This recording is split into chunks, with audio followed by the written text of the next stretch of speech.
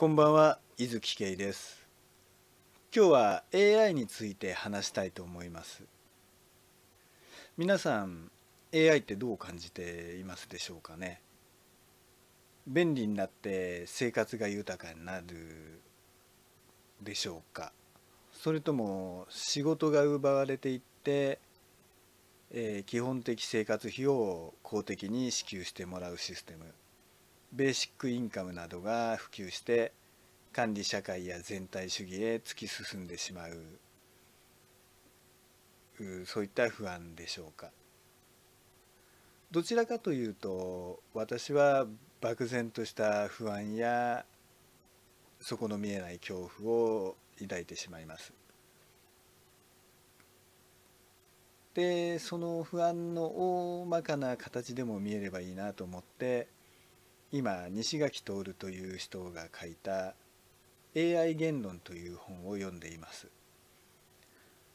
これがまあ私にはとても難しくてでまあアンチョコとして雑誌「ニュートン」のムック本「ニュートン・ライト人工知能」を同時に読んでいます。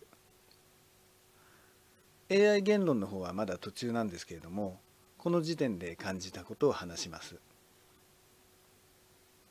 まず AI とは何ぞやということですが明確な定義はないそうですニュートン・ライト人工知能によれば人の知能に近づけた人工的な知能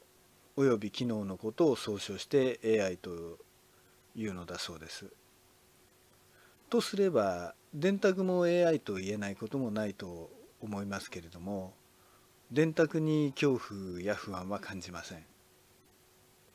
不安や恐怖を抱くのは会話と意思決定が可能で感情を持ち合わせていないコンピューターに対してです。2001年宇宙の旅の春や昔24時間テレビで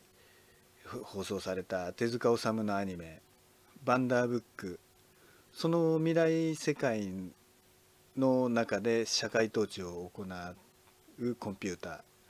マザーみたいなものですね。まあそこまでいかなくても現時点で考えられることとすれば例えば何かを生産するプログラムを組まれた AI があってその生産過程において人間の存在が脅かされる事態が起きても生産を優先するということが起こりかねません。有益無害と思われるプログラムにおいてもそういった危険は潜んでいます。でもコンピューターのプログラムを組むのは人間です。そしてさらに今の技術でえー、そういった考え考えるじゃないごめんなさい。会話や、えー、意思決定を行うコンピューターというのは単独の機械では無理で分散した機械のデータを集合して新しいデータを導き出す。その繰り返しが必要だそうです。だとすればさらに多くの人の手人の気持ちが介入することになりますので AI の暴走があるとすればそれは人間の暴走でもあるのですそして AI が暴走したということであれば、えー、その抑制装置としての AI も作られるはずです。まあそうは言っても東日本大震災における福島第一原発の冷却装置などのことや防波施設の不備などを鑑みれば大丈夫だろうという人間の緩みがとてつもない悲劇を起こすのは簡単に想像できます。ですのでまあ油断とか大丈夫だろうという軽々しい気持ちですね。これは十分に気をつけなければいけないと思います。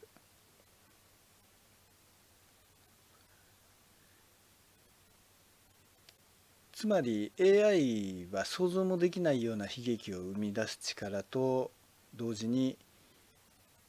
人を幸せにするための助けになる大きな力にもなると思うのです。大切なのは AI もまた道具でありその背後に人がいることを、えー、私たちが知らなければいけません。ただ漠然と利便性を受け取るのではなく好むと好まざるとにかかわらず AI と関わり暮らすのですから便利になったものが何を生み出すのか誰に何が行き渡るのかを考えて想像して便利になった時その裏で何を奪われているのかを丁寧に見ることが大切になってくると思います。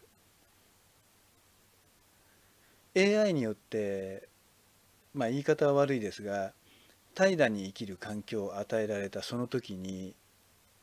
人一倍考えて想像することがこれからの時代は必要になってくると思うのです。人類のみに与えられた資質。それは深い思考と広い想像だと思います。AI はそれを助けてもくれるでしょうし踏み潰しもします。そう思います。つまり AI に抱く不安の一側面には人間が人間はまあ私ですね。私が怠惰な方を選んでしまうのではないかという自分に対する不安と怖さだ。恐怖です人が人としての特性を生かし育むことができるのかと問うてくるのだと思います。まだ全体像の見えない AI に対しての不安と恐怖は思考と想像を止めないことによって軽減するものだと思思っています。今の時点ではそういうふうに私は思いました。AI については AI 言論まだ読み終わっていませんしシンギュラリティやサイバネティクスそういった興味深いこともまだまだあります。